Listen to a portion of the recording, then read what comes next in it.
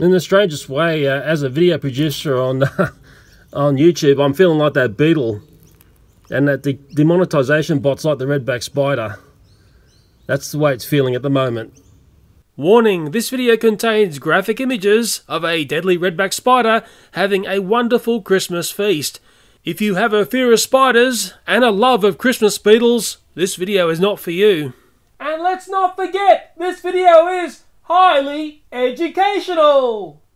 The other thing I like to look at on my walk is uh, I know where the redbacks hang out, and this is a classic example of what they get up to.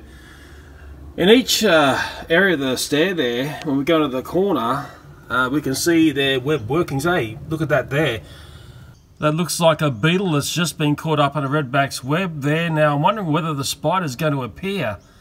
Hmm, well that beetle would be sending out the right messages, that's for sure. The redback has appeared. Oh, this is great because it's not in the spider tank. Wow, look at that there. Very, very amazing. Wow, it's much more amazing to see it uh, like this versus the spider tank because uh, this is sort of for real. Look at her go, and she is a feisty female. She's large. Looks like she's got an egg sac developing in the backside there. And that beetle is going to be a goner.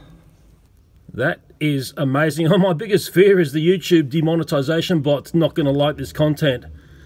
Uh, we've got to spin some education here, boys. Uh, there's a redback spider. It's got eight legs. It's got a red stripe on its back, and that beetle there comes out about Christmas time. Does that mean I've been educational? So just think, you would have been walking up these stairs here and you never knew that deadly spider was lurking in the corner there. Unless you got eagle eyes for them. I know she'll have a lot of work to pull that beetle down there. Very strong, extremely strong in the legs. Uh, but I've got total confidence in that redback spider. Maybe I'll get some slow motion footage of this going on. I've got the luxury of just being in a normal environment.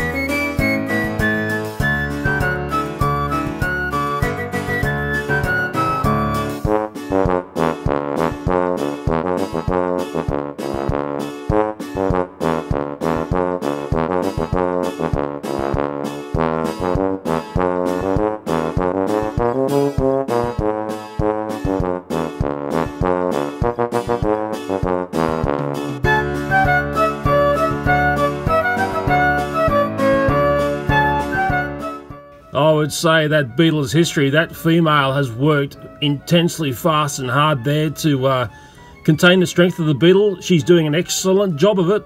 It's a classic case of if, if you know where to look and you're lucky, uh, you get some awesome stuff. And it's just out of my morning walk. Who would have ever thought I could see something so epic and it's going on all the time?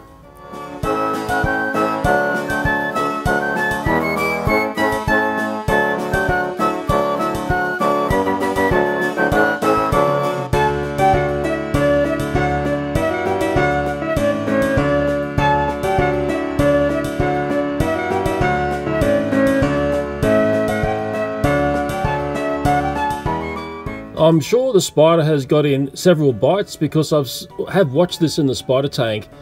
Uh, and that beetle there, I'm calling it a Christmas beetle because we're getting up near Christmas time.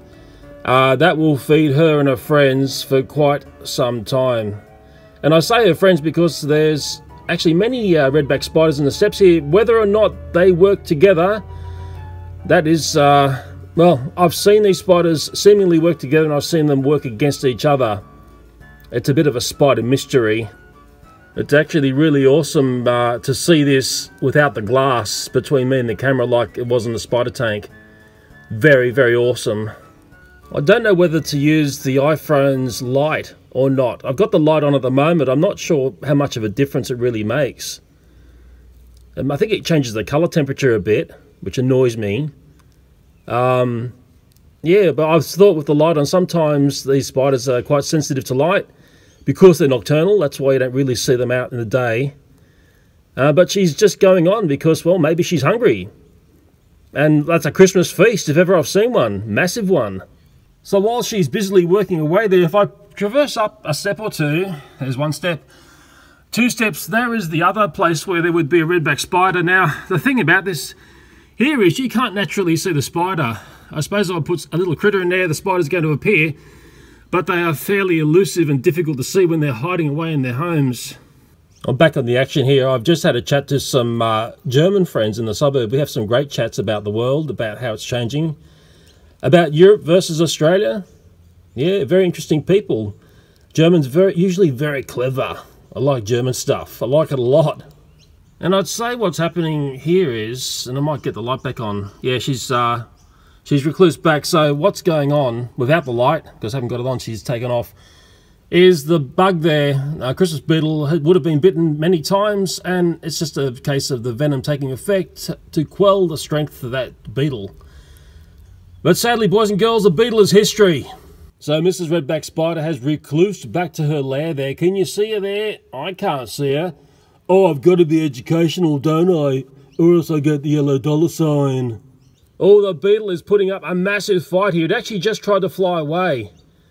It just got its wings out. I missed it on camera, sorry. It might try and do it again. Oh, it's trying all it can to get away. The redback may reappear. May reappear. Uh, but I think there would have been enough venom uh, put into that beetle there. It's just going to weaken over time. Oh, the redback is coming back. Yeah, so um, that's the way it plays out. The redback thinks a little bit too much action is going on. There's going to be some more bites. That's the way it plays out, boys and girls. Well, that uh, I have to say that beetle is actually a fighter. It's uh, doing a lot of feisty wing action. And the Redback's going around, and what it does, it would be repairing its web and stuff. Because, well, the web is really its secret weapon. Especially the very sticky web they've got. These spiders have got some incredibly sticky web that uh, is totally amazing. And there's some more education for you, boys and girls, because I'll be fighting the yellow uh, demonetization bot for sure. I know there's going to be the argument, oh Leo, why don't you come in and save the Christmas beetle? Well, the spider needs to survive as well. You've always got to remember that. In nature, uh, it's not pretty. Uh, everything dies basically to be food for somebody else.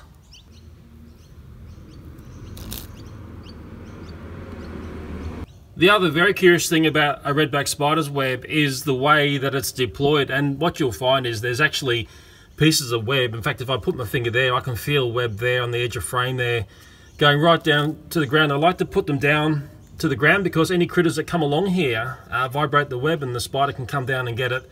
Also up on the wall here. So really this whole area here is uh, her zone. Anything that comes into this zone is going to potentially be her next meal.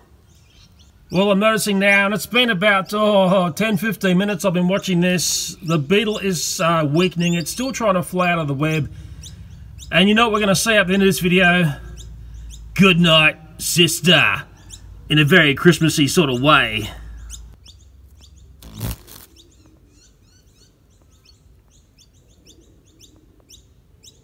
I've actually just come back, uh, and this is about 20 minutes after I shot the initial video. The beetle's still struggling on. The redback spider has reappeared and is, uh, dare say, finishing up its business there and strengthening up its web. So maybe the people who are landing hate on me when I put the Christmas beetles into the spider tank and rethink their comments, come back and say sorry. oh no, that's never going to happen. Trolls don't work like that.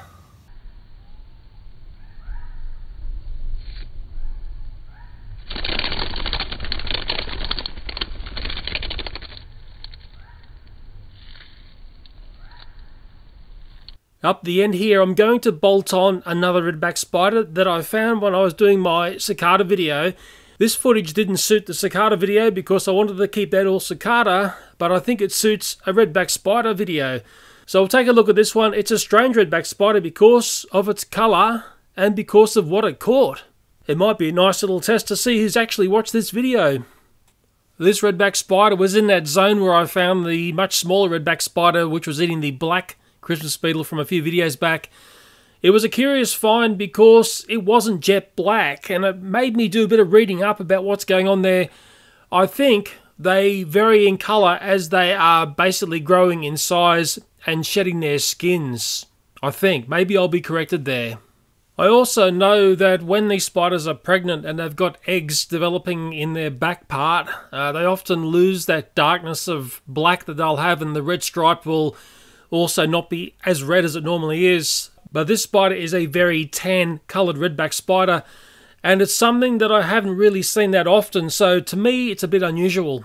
The things to me that said redback spider was the style of web that it had, the style of environment it liked to live in, and what did it caught? Well, I kept flip flopping in my mind between are we dealing with a wasp here because it looked like it had a waspy sort of backside, or are we dealing with some style of ant? Now, I don't know. I'm not an entomologist, as you all know. If I told you this was an ant, the audience are going to say, no, Leo, that's a wasp. If I told you it was a wasp, I know the audience will say, well, no, Leo, that's an ant. Don't you know? But I'm hoping the one thing that we're all going to agree on is whatever that is, it's a pretty awesome thing to capture and kill and again, this shows you that the redbacks that go on to be full blown mature adults are the ones that are the most honed killers. In redback spider society, the most evil spiders will rise to the top. Maybe it's the same in our human society as well. I'm sure you'll tell me.